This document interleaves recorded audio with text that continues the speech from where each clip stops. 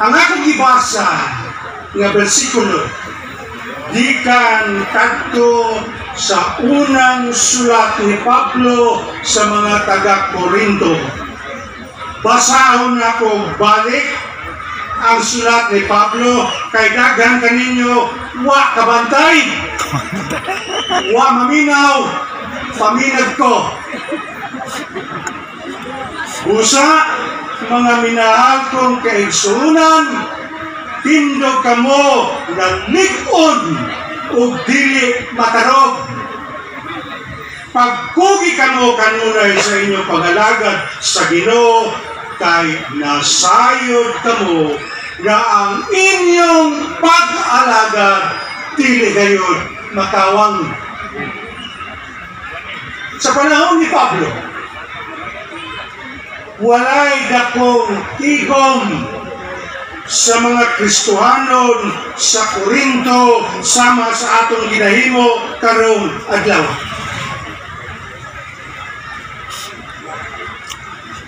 Ang mga Kristohanon ni Adto sa Korinto nagatigom sa mga pipila kasimbalay na nasugdan sa tibuok syudad. Wala pa mga dakong simbahan kaniadto. Sa mga dakong balay lang sila sa adunahang mga membro nagatigong mata Domingo. Tagahag problema ang kinatibuk ang iglesia sa Corinto, way kalainan sa Metro Davao District. Dito naupaw si Pablo.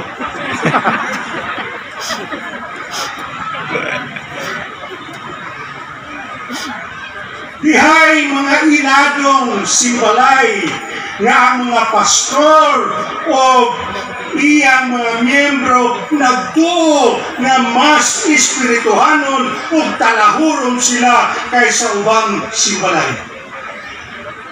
Unang usap ka simbalay gamay kaayo ug tuwa pagyud sa kilit daling maluya ang mga sakop niini kung sa pulong ni Pablo sa mga simbalay nagagmay o gitamay.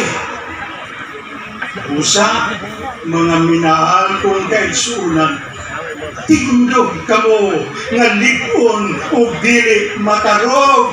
Pagpugi kamo kanunay sa inyong pagalagad sa Ginoo kay nasayod kamo nga ang inyong pagalagad dili kayo makawang Tungod kay ang mga simbalay sa Korinto wala magkahiusa ang mga miyembro sa iglesia nagtihaay. Dili nagtihay-tihay, nagtihaay sa usa-usa sa korte. Kamay wa pagkasinabot, magtiha dayon. Masakitan lang o gamay, magtiha dayon maagrabyado ng gamay, magkiha dayon, wala na sila laing mahimo, makalaay, makaluya. Ingon ni Pablo, busa mga minahal kong kaigsunan. Tindog kamo na likon o dili matarog pagpugi kamo kanunay sa inyong pagalagad sa Ginoo kay nasayod kamo na ang inyong pagalagad dili gayod Makawang. makawang mga pasaway yun ning mga Kristohanon sa Korinto ispoko mo nang sa panahon sa komunyon sa panahon sa komunyon, mag-unahay sila kaon sama sa nagunaw na nadiha.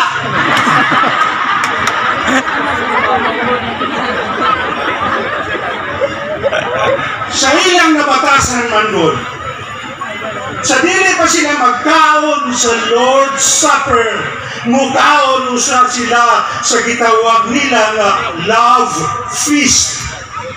Love feast.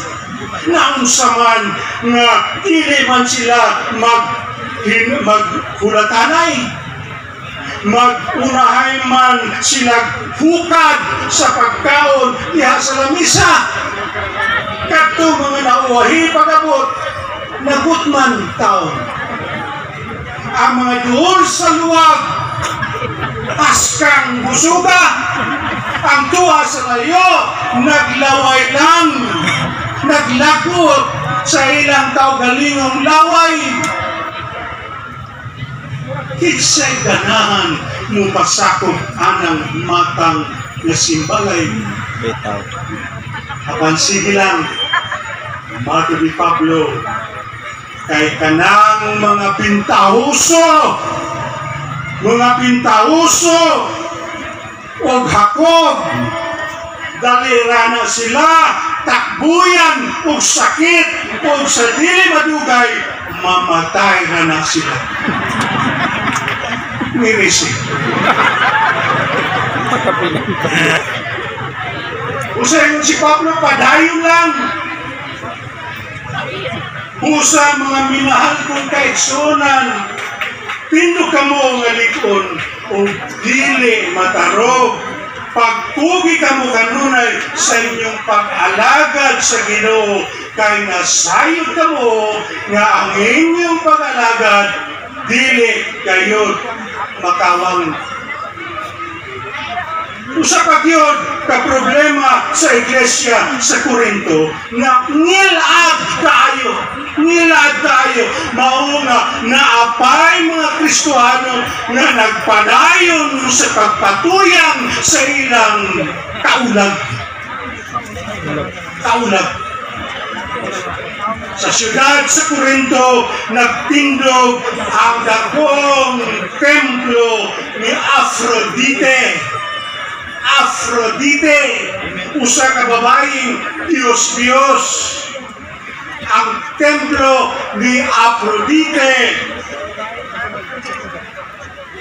Kila ingon nga templo sa prostitusyon. Ang mga nagdumala sa templo, mga pampam o burikat. Kinsay di ganahan mo simba dito? Maglinya ang mga taong buhat musunod sa templo. Uban ang mga Kristohanon.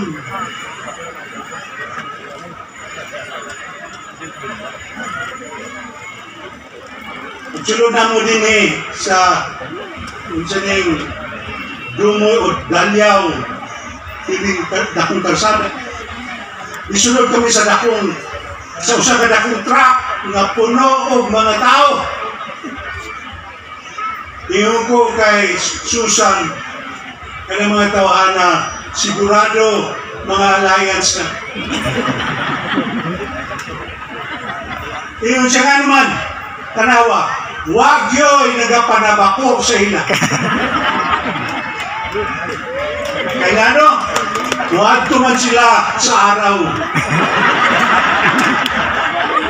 Pero ba na araw? Pero pagbalik ka na dito sa bukid, Tustos. sigurado ko, Litis.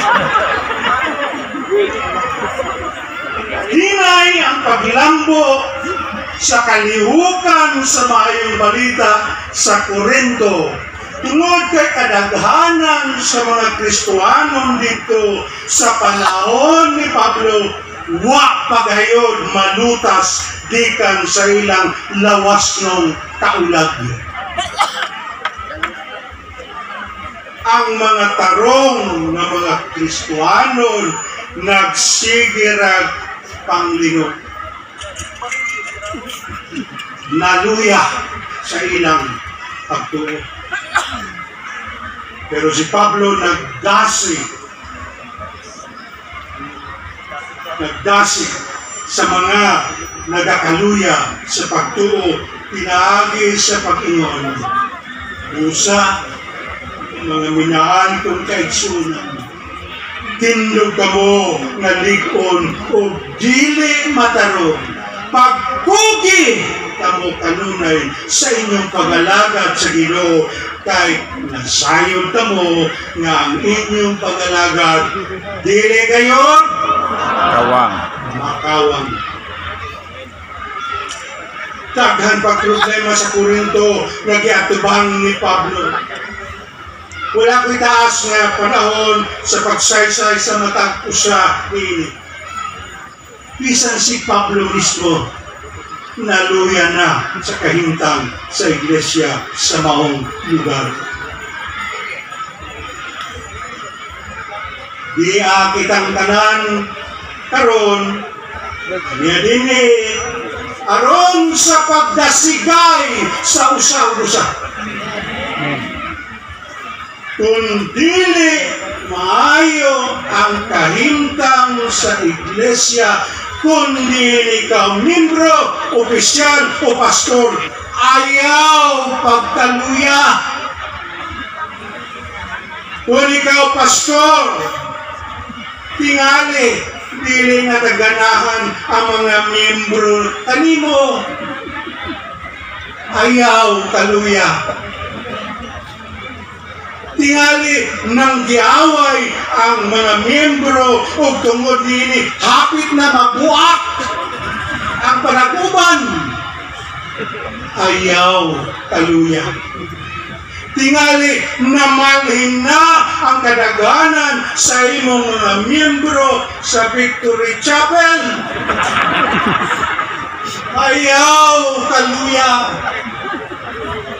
tingali nadaot o nagdugmok na ang dungog sa inyong panaguban tungod sa sala nga wala mabantayan o wala diatubang. Ayaw, kaluya.